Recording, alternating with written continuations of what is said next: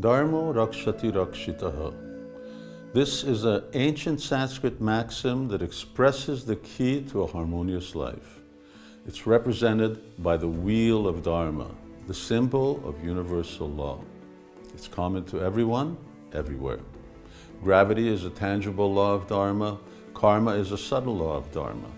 These laws govern us, irrespective of race, gender, or faith.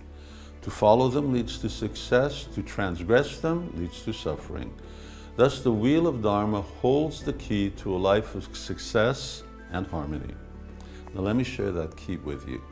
In the Sanskrit in which it's spoken, it's a primordial axiom that goes like this Dharmo rakshati rakshitaha. What's it mean? And how is it a key to harmony? Listen to the translation and you'll know. Protect Dharma, and Dharma will always protect you.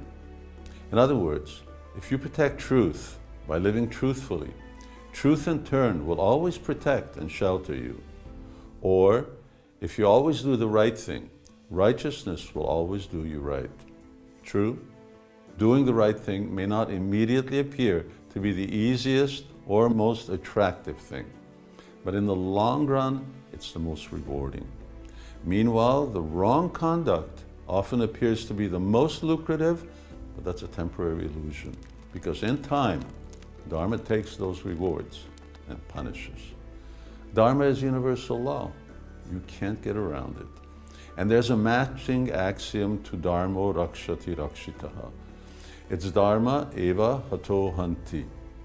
If you abandon Dharma, Dharma will destroy you. Believe it or not, Dharma acts like gravity. Believe it or not, if you jump out the window, you will fall. So for a life of harmony and righteousness, try this formula. Dharma rakshati rakshitaha.